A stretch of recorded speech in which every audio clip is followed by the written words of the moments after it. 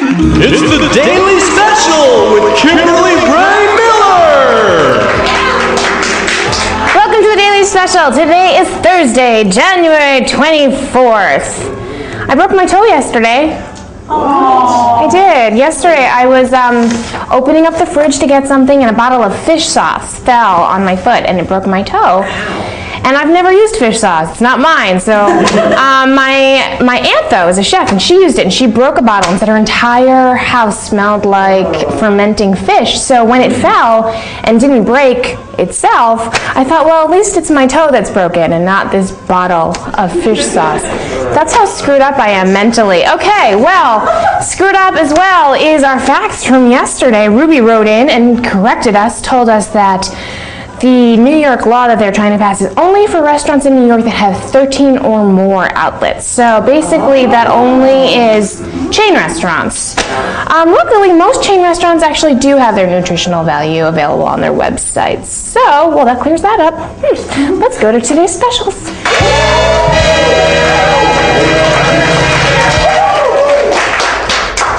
Well, Puff Daddy, P. Diddy, blah, da, da, boo. He is changing his name again because he feels like he should change his name every time he evolves. So now he is Sean John. Um, so what evolutionary stage was he in when he decided Puff Daddy was an appropriate name? Great. All right. Sylvester Stallone has gained 40 pounds since the last Rambo movie. Surprise, surprise. I have too. And when asked to comment, he said, I can't do it. Can we start over? On Rachel talks about a Psychology Today article that came out stating that women consider fat talk a bonding experience and that young girls consider dieting a competitive sport. I know that I have a gold medal. Well, interviewing is a hard skill. It is, one which I have no training in, so I'm going to call someone and see if I can get some tips.